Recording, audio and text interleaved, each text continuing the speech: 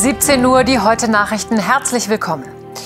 Wie weiter nach dem Haushaltsurteil des Bundesverfassungsgerichts? Darüber haben heute Bundeswirtschaftsminister Habeck und seine Kolleginnen und Kollegen der Länder beraten. In einer Sache sind sich alle einig. Die Projekte, die schon geplant sind, müssen auch finanziert und realisiert werden.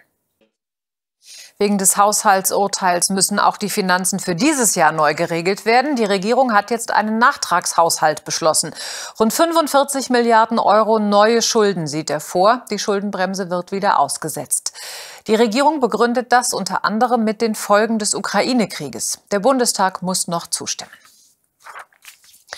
Überschattet von dem Ringen um den Haushalt fand heute im Kanzleramt ein Autogipfel statt mit Olaf Scholz, den betroffenen Ministerien und der Autobranche. Großes Thema die Elektromobilität. Frank Bethmann an der Börse in Frankfurt. Viele sagen ja, hier kommt Deutschland viel zu langsam voran. Woran liegt es denn? Ja. 58 Geiseln hat die Terrorgruppe Hamas seit Beginn der Feuerpause freigelassen. Soweit bislang bekannt ist, ist die jüngste vier Jahre alt, die älteste 84. Laut ihren Angehörigen schwebt sie in Lebensgefahr. Um noch mehr Entführte nach Hause zu bringen, soll die Feuerpause im Gazastreifen verlängert werden. Tja, wie geht es jetzt weiter mit der Freilassung weiterer Geiseln? Wie geht es weiter im Gazastreifen? ZDF heute live schaut auf die mögliche Verlängerung der Feuerpause um 19.30 Uhr in der ZDF heute App oder auf unseren Social Media Kanälen. In der Fußball-Bundesliga fragen sich heute viele, wie so etwas wie am Wochenende künftig vermieden werden kann.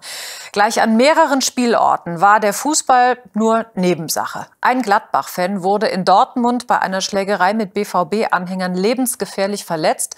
Und in Frankfurt gab es offenbar mehr als 150 verletzte Polizisten, Ordner und Fans.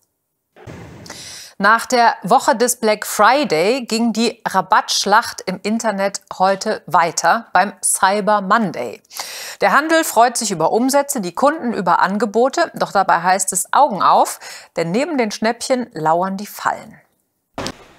Pünktlich dazu ist der Winter in Deutschland angekommen. Ende November nichts Ungewöhnliches. Doch an vielen Orten fällt der Schnee in Massen und das heißt leider auch Unfälle und Verkehrschaos.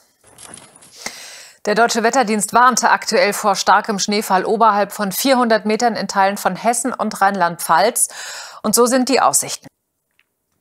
Das war's von uns, die 19 Uhr heute. Sehen Sie später mit Mitri Sirin. Und hier geht es weiter mit Tim Niedernolte und Hallo Deutschland. Ich wünsche Ihnen noch einen schönen Abend. Tschüss.